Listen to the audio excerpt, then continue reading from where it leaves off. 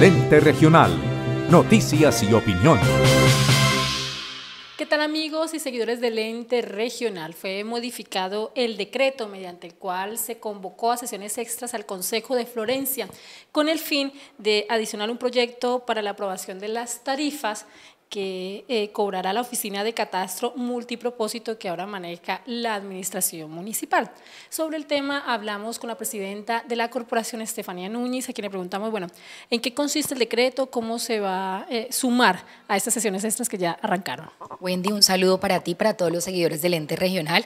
Como lo acabas de indicar, el pasado lunes 12 de septiembre, mediante el decreto 956, se dio una modificación al decreto 350 del 7 de septiembre, mediante el cual el alcalde, el señor Luis Antonio Ruiz Iseri, convoca al Consejo Municipal de Florencia para el estudio, análisis, discusión, aprobación o negación de tres proyectos de acuerdo y vinculados que ya se encontraban al interior de la corporación. De esta manera, y como lo acabas de mencionar, es un proyecto de acuerdo que básicamente lo que eh, pretende es adicionar un capítulo al estatuto tributario, toda vez que a partir del día de hoy el municipio de Florencia inició como gestor catastral. Entonces, lo que básicamente pretende el proyecto es adoptar las tarifas que cobraba el IGAC e incluirlas en el estatuto tributario. Esto se hace, Wendy y Ciudadanos, porque eh, la administración municipal no puede cobrar absolutamente nada sin que pase por el Consejo y sea aprobado por el mismo.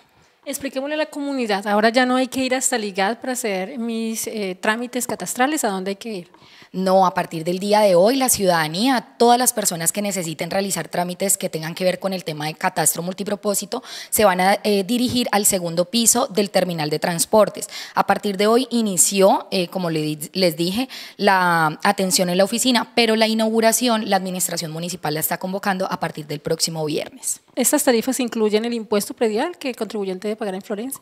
no, el impuesto predial es directamente en la oficina de tributos, ya lo que tiene que ver con catastro multipropósito es temas como relacionados con planos y otro tipo de información cartográfica. ¿El valor o costo a pagar es el mismo como si yo pagara en el IGAC o aumentó, disminuyó? Es exactamente el mismo, las tarifas son exactamente las mismas que manejaba mediante resolución el Instituto Geográfico Agustín Codazzi. Para el próximo año pues se contemplan aumentos, incrementos normales, eh, como pues suele suceder en el país. Finalmente los concejales contemplan aprobarlo.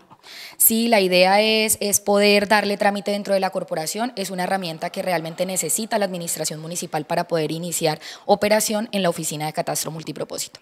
Bueno, pues recordarles que durante estos días el IGAC ha trasladado toda la información de catastro al municipio de Florencia.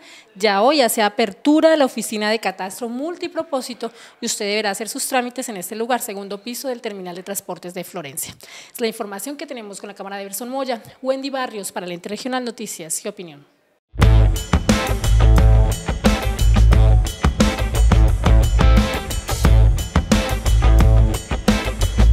Academia Iberoamericana de Idiomas. 20 años de experiencia. Estudia inglés o francés.